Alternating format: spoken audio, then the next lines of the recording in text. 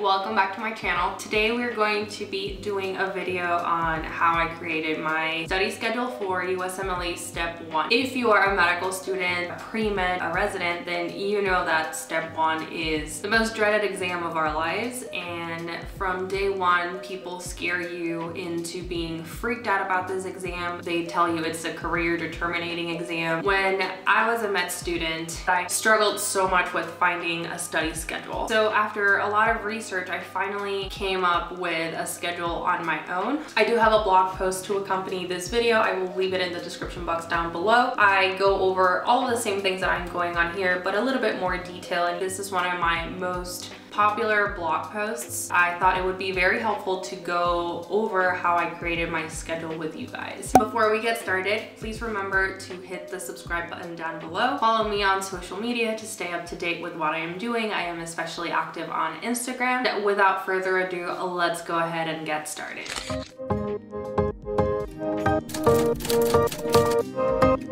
I'm gonna be doing a couple of different things. I'm gonna be walking you through the different questions that you need to ask yourself in order to create your own step study schedule, as well as I'm gonna be doing some screen recordings and guiding you over my blog post and how I actually created my study schedule. The first, I wrote down a few questions that you can ask yourself in order to begin planning your step study schedule. The first thing is you need to figure out how much time you are going to have for your dedicated step study time. For example, like I mentioned, we had about eight weeks of dedicated step study time. I knew that I could space out all reviewing all the content of the first two years of our medical school curriculum in order to be prepared for the exam. My schedule is going to be divided into weeks and this is going to be over an eight week study period. In addition to that, you have to figure out how many hours of the day you are going to dedicate to studying for step one. So my schedule would be from 8.30 in the morning to 11.30 p.m.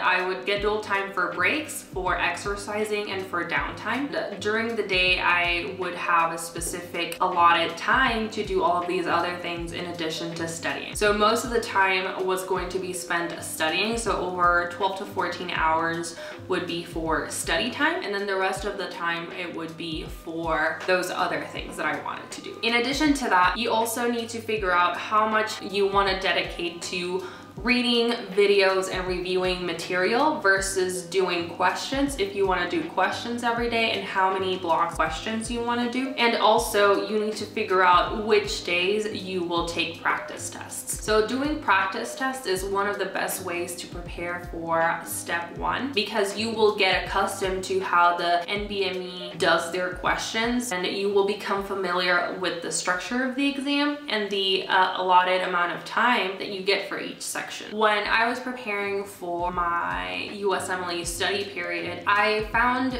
that having a dedicated day off was very important in order to not feel overwhelmed and in order to have a day to like completely decompress and recharge for the next study day. So having a scheduled day off is very helpful and it'll also help your family be able to know when they can call you and when they can schedule time to see you. The final and most important point is to be flexible. Life happens and it's important to be open to change. So your schedule, even though you have a structure and a general structure for that time, it's important to be open to change. So I was going over my blog post and in my experience, I wrote that when I was taking my first practice test, I actually woke up with a really nasty cold slash strep throat during that time. I was febrile and I still took my practice test. After that, obviously I couldn't focus for the same amount of time. So I couldn't study that day or the subsequent days after that as much as I would have or I wanted to. I needed at that point to go back to my schedule and adjust for that situation and be flexible to changing things a little bit and changing my timeline. So those are the most important six questions or steps that you need to take in order to figure out your USMLE step study schedule. So now I'm going to go into my blog post and walk you through the different things. I'll try to insert them around here so that you can see exactly how I created my study schedule.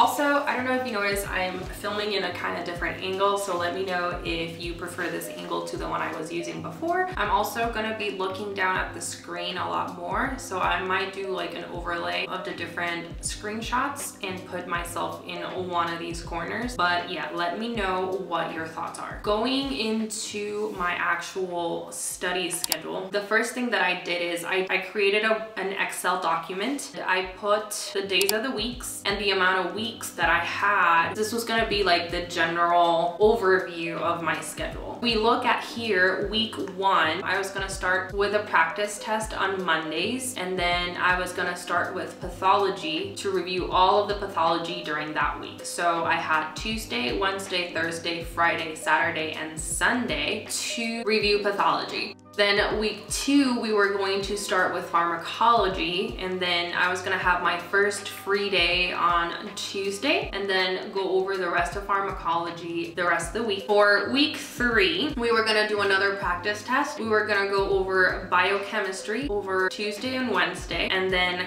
Thursday and Friday, we were gonna go over behavioral health. Saturday and Sunday, immunology. Then week four, we were gonna do microbiology. We we're gonna have a free day. We were gonna do rest of micro, uh, microbiology, and then we were gonna go by systems. So cardiology, endocrinology, gastrointestinal, hemonc. Then week five, we were gonna go over practice test, we were gonna go over musculoskeletal, neurology, psychiatry, renal, reproductive, and respiratory systems. And then the last two weeks we were going to be for just reviewing everything, going over questions that I had not gone over, repeat missed questions and things like that. I think in the end, I ended up doing something a little bit different, but practice test days also counted as free days. So that's why you see that the weeks that I have practice tests, there was no free day because the practice test day, I would do the practice test, I would review the questions, and then I would get the rest of the day off. So it kind of counted as a day off. If you see here, I made an annotation that the last three weeks we were, were gonna be determined. We weren't gonna have a set schedule because it was gonna depend on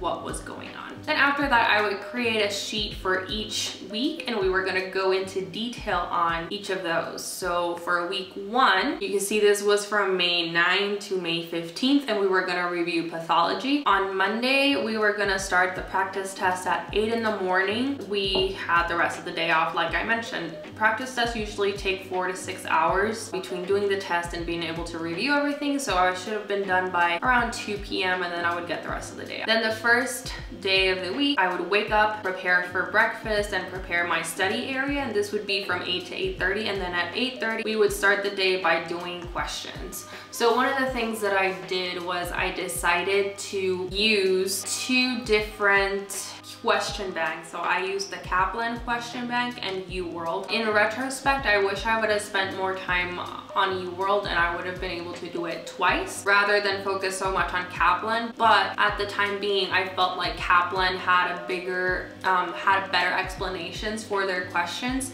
And they also directly put on their answers where in the first aid you could find the answers to the question.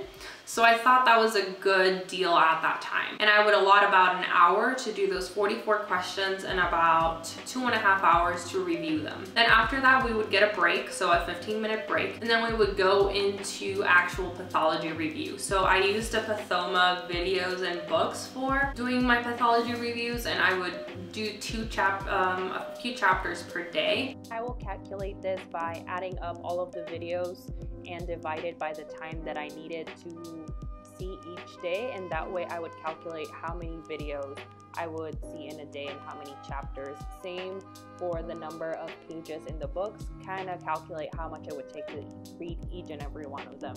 So I would see the videos for chapters one and two, then we would have lunch, then we would do the next two chap uh, chapters two and three, the first aid, and this would be to transcribe additional information to your first aid in addition to reading it. And then this would go on up until 5.30 p.m. Around 5.30, I would take a shower and do some yoga. And then after that was time for more questions. Then we would have dinner. Then I would review the questions, finish reading the first aid for those chapters and then it was bedtime. And then I would basically repeat this every day during the whole week and kind of go over that. Same for week two, same for week three. It was pretty much the same thing. Uh, the important thing about this is to establish a routine, figure out which resources you are going to use. Basically, I was using, like I mentioned, the Kaplan question bank, the UWorld question bank. I used Pathoma for pathology. I used Sketchy Micro and Sketchy Pharm for those specific chapters, but I found out that Sketchy Pharm was a little bit too advanced. Pharmacology was always the topic that I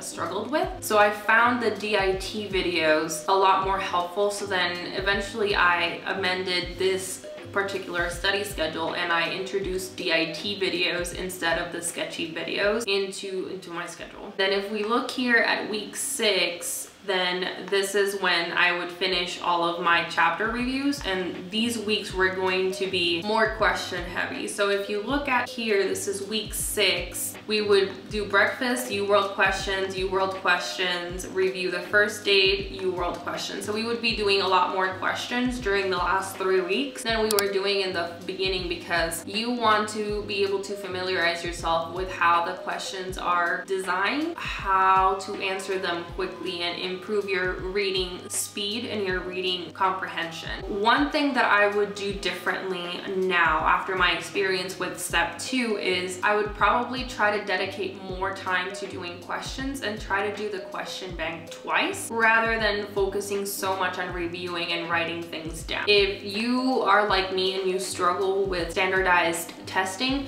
then I recommend that you try to focus a little bit more on doing questions and getting more familiar with how the exam is designed than reviewing all of the topics because for step one is going to be more of answering questions and knowing how they're trying to trick you rather than being completely 100% familiar with the material. So let me see, week seven and week eight were pretty much the same practice test and then mostly questions. Oh, another thing that I did, if you notice in the beginning, the first four weeks, I was doing a practice test every other week versus in the last four weeks, I was doing a practice test every week. That was important to note. I have my blog post here in the same way, go a little bit more in depth with how I designed things, how my actual schedule turned out being, which resources I used and why. So if you wanna look at that, I'll leave a link in, down in the description box. Pretty much if you answer the questions that I gave you in the beginning, so figuring out how much time or how many weeks you have to study for your test, how many hours a day you wanna dedicate to studying for STEP, how much material and questions you wanna do each each day. What days will you be taking practice tests, when your day off is going to be, and to be open to change. If you do those six things, you should be in a good road to be successful and have a good schedule. I thought it was this was gonna be a lot harder in the beginning. It took me a long time to go from how am I going to create a schedule that is pretty routine, standard, and is gonna help me to going and actually making it happen. If you guys want any help, please feel feel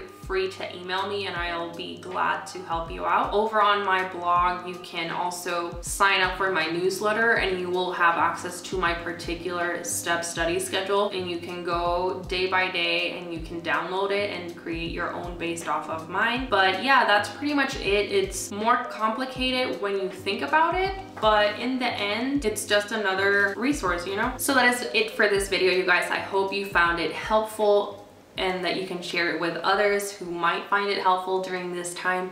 I know that I started to create the schedule around mid to late April because our study time started around May. So if you are in that position, I hope that this can help you figure out your own step study schedule.